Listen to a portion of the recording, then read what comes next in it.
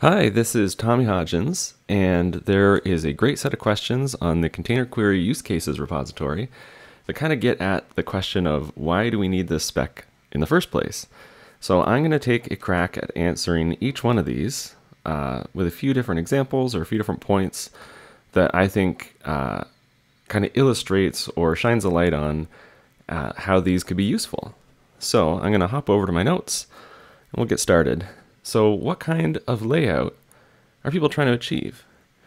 And so, in the context of container queries or element queries, I think the main things that uh, CSS authors and web developers are looking for is they want the ability to build uh, complex layouts, um, especially the idea of breaking a larger layout down into smaller components, or if you've heard of uh, atomic design, like Brad Frost style, not like Tachyon style.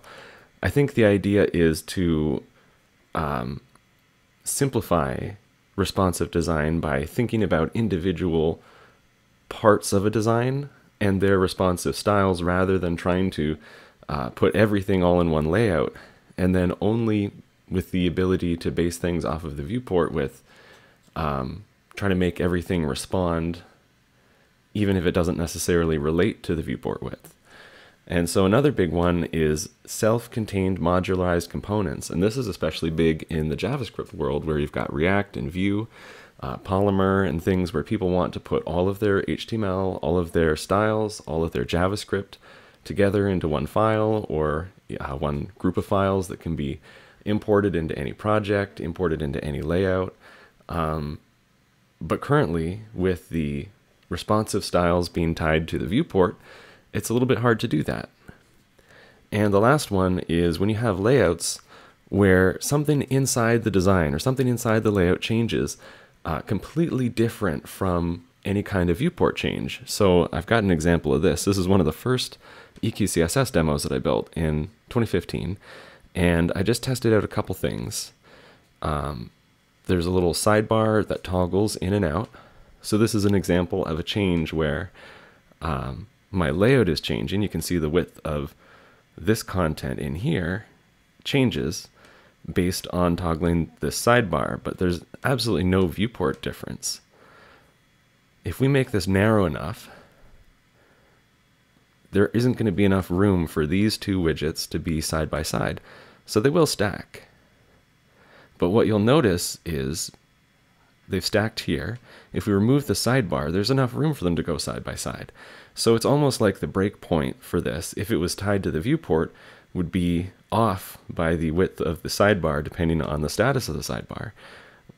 We need some kind of a breakpoint that will kind of respond to the space available, which in this case is the width of this main area, which isn't always equal to the width of the viewport.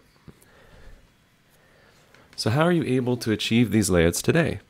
So before the talk of element queries or before the talk of uh, trying to add this functionality to CSS, the pretty much the only way that people were working with it was by using JavaScript to watch or listen to events and assign different classes. And so that meant that you had to, uh, in your CSS style sheet, you had all of the styles that applied all the time. But then for each additional uh, kind of, I'll call them element query states, or for each potential uh, variation, you would have to put kind of like a flat rendering of everything that would be in that style sheet, and you just kind of prefix it with a class like sidebar open or something. And so what you end up with in your CSS is a big file with a lot of different state-based representations or um, it, it, can get a little bit messy to try to organize or understand everything that's going on in that CSS style sheet. Another way that people have tried to do element-based breakpoints has been by using iframes, including there's a whole blog post and workflow for iframify. So this is something that has been done, it's been written about, but it's just not a perfect solution. So with iframify, you have a node and then a JavaScript library that replaces the node with an iframe containing that content. So the problem with iframes is that they are slow. Um, we'll get into that here. Uh, using complex Sass math formulas to try to find some kind of a relationship between the viewport and what you're actually styling. So the best example of complex CSS uh, Sass math formula I can think of is CSS locks. So with these, each blog post has a different formula, and they're so convoluted that sometimes I've seen entire blog posts where people are just trying to remember uh, what their existing formula actually stood for and what the numbers meant. So this is the type of thing I'm talking about.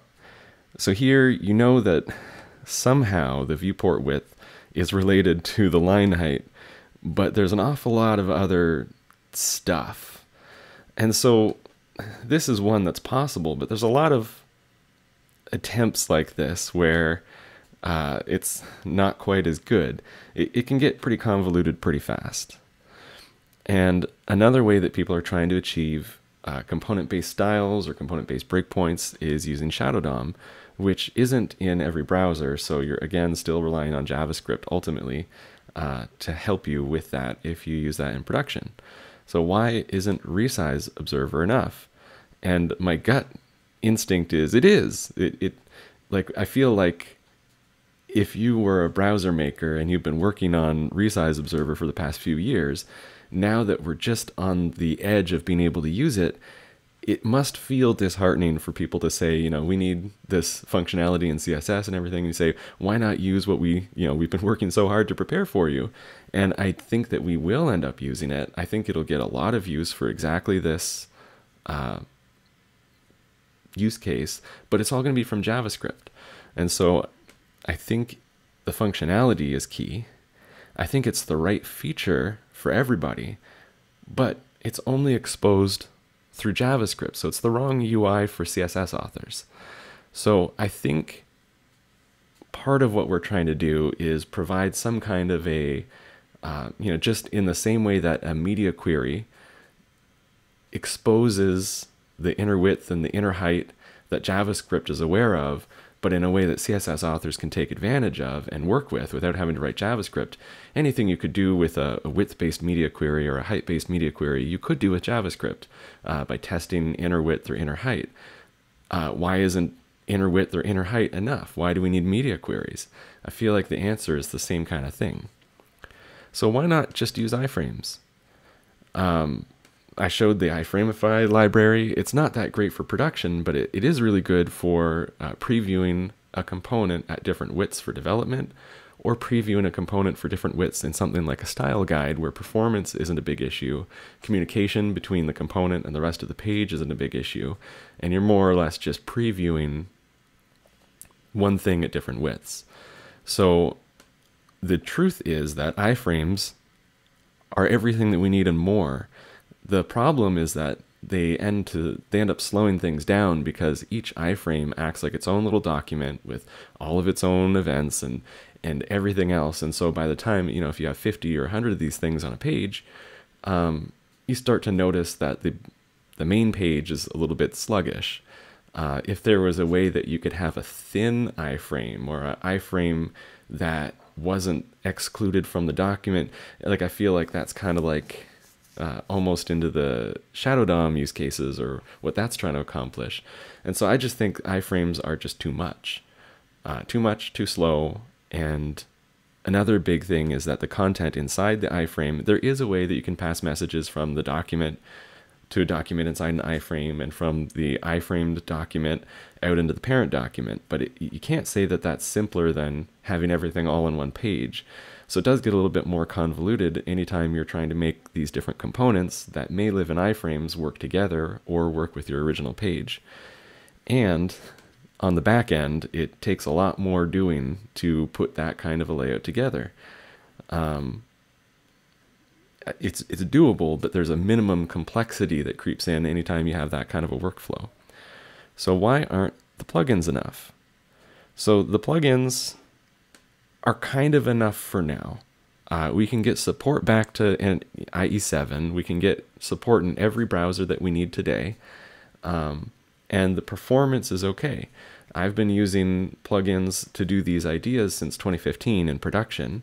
Um, and I'm seeing just on uh, my most popular plugin, there's, there's an adoption rate uh, of more than one website per day, it seems. Like now I, I, get about 10 or 13 new sites popping up using it uh, every week. And so people are trying it, testing it, seeing that these plugins are good enough to use in production today, but that doesn't mean that they're the best that they can be.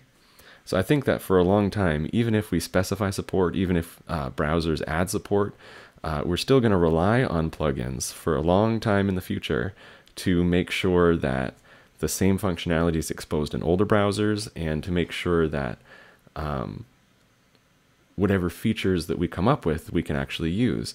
So one thing that I think is going to change if we're able to specify uh, something here is I'm, I'm hoping that the plugins that we use in the present and the near future can all be standardized to the set of functionality that may eventually be coming in the browser.